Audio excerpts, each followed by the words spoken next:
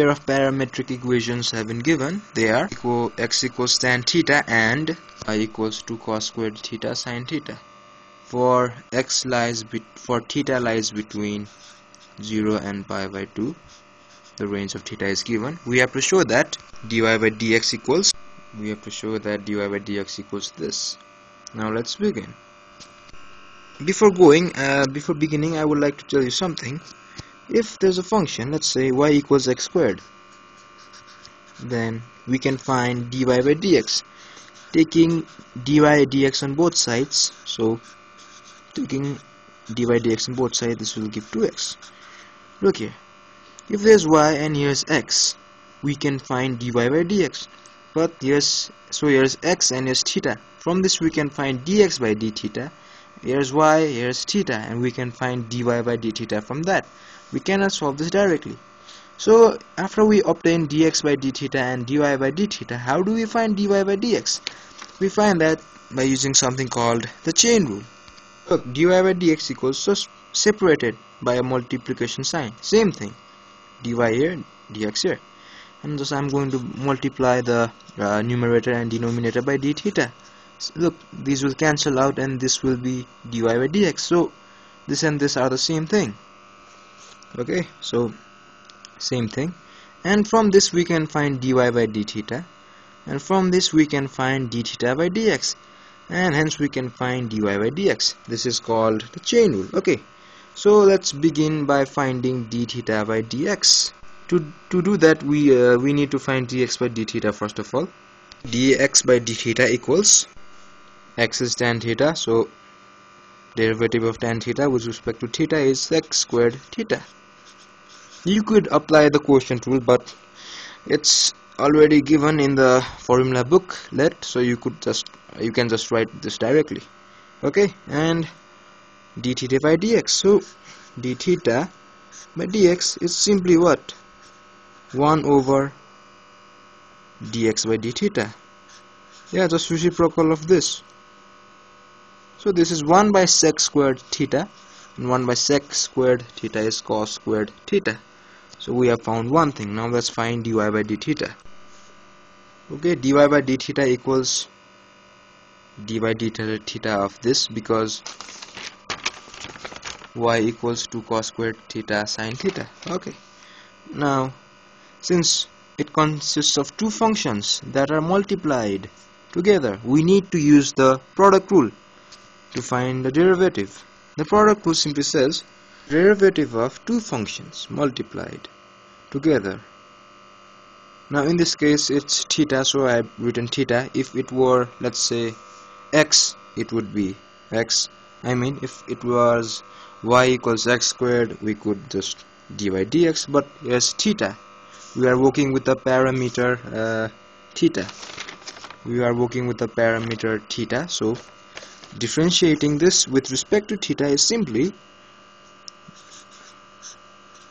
you take the derivative of one you take the derivative of the first function and multiply it with the second function.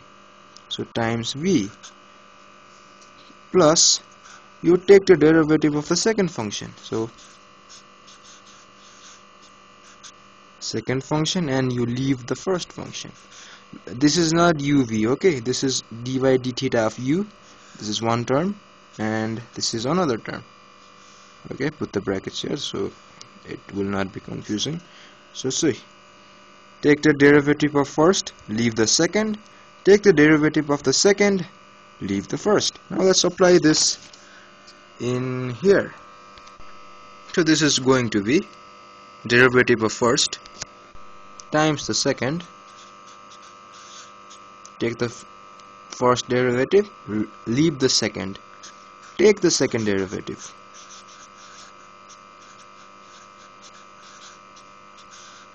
Take the second leave the first.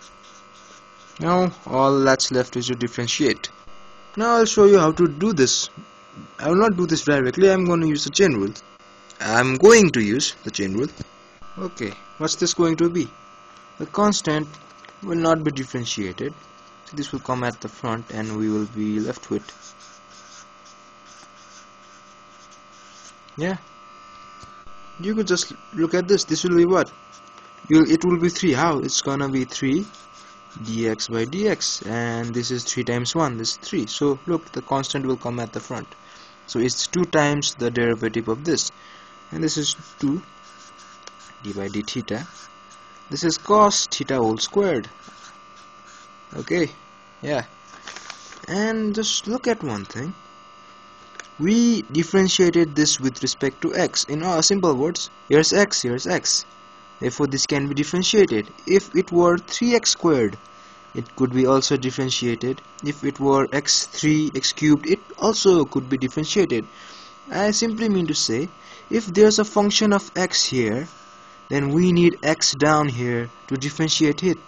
But look the function is cos theta here. And here we have theta. And we cannot differentiate this. Here's x squared here's x. Function of x here's x. We can differentiate. Here's a function of cos theta. But theta is not a function of cos theta. So this cannot be differentiated. So in order to differentiate cos theta whole squared we need d cos theta in the denominator and as before. It's this. Okay. I'm going to just going to separate. I'm just going to separate. Put the d theta here. It's the same thing right? Separating by a multiplication sign sign. And what we need to differentiate this function of cos theta we need cos theta here. So put cos theta here. But if we put cos d cos theta here we need to put d cos theta here so that this and this will would be equivalent. So look d cos theta d cos theta cancel out and we would be left with 2 d cos squared theta by d theta. Same thing. Now look function of cos theta cos theta. Function of theta and theta. We can differentiate this. Check. Look what this what is this going to be? It's going to be n x to the power n minus 1 function of x to power n function of uh, x is function of x x. This is going to be n x n minus 1 look instead of x we have t cos theta here. Here's x. Here's x. But look here's cos theta here's cos theta. So if we just compare these two then the results will be similar. So for simplicity just replace x with cos theta. Then what would we get we will get that. It's n x n minus 1 what's n? N is 2 what's x? X is cos theta. And 2 minus 1 is 1 so look. If this equals this then this is going to equal this. Thus replace x with cos theta and n with 2 you'll get this. So this is 2 cos theta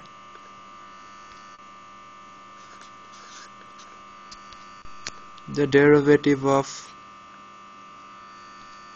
cos theta is minus sine theta. Yeah? So there's 2 uh, I forgot to write that. There's 2 already. So 2 times this times this this is 2 cos theta and this is minus sine theta. So this will give you minus 4 sine theta cos theta. So what what is this? We found it was minus 4 sine theta cos theta times sine theta so sine squared theta plus this is cos theta and cos theta times cos squared theta is 2 cos cubed theta so we have found d theta by dx and we have also found dy by d theta. Now let's just use this. dy by dx equals dy by d theta times d theta by dx. dy by d theta is this term here.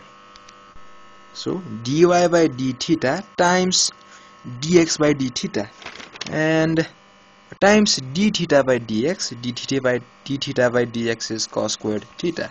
dy by d theta is this and d theta by dx is cos squared theta. Let's multiply. Multiplied cos 3 theta cos 5 theta. Okay. And look here we have to show 6 cos 5 theta minus 4 cos cubed theta. There's look no sine theta.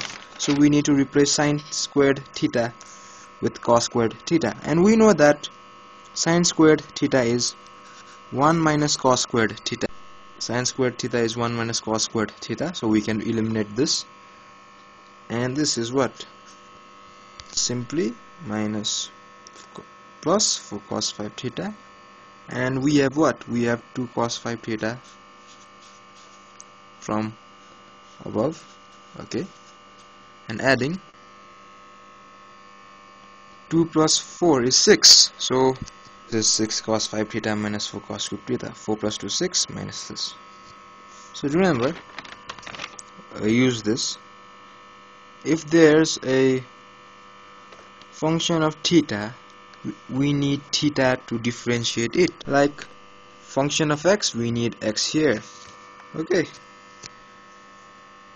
function of cos theta we need cos theta down here. That you should remember. And also if there's theta and here's x we can find dx by d theta. And if here's y here's theta we can find dy by d theta and so on. Just you should remember that. Okay thank you